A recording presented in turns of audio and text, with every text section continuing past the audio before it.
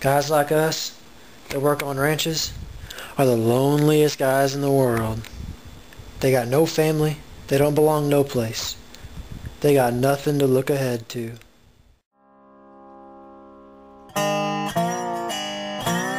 But not us, George. Because, see, I, I got you look after me, but you got me to look after you. That's right, Lennie. So, where you boys from? Well, I'm George Milton, and this here is Lennie Smalls. We come down here from a ranch around Weed.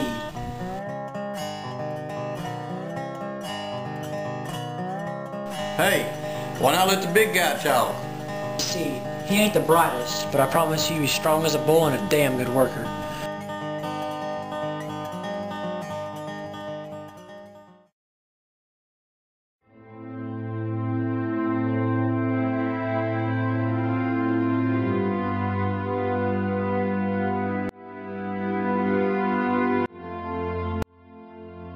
Gee, George, she sure is pretty.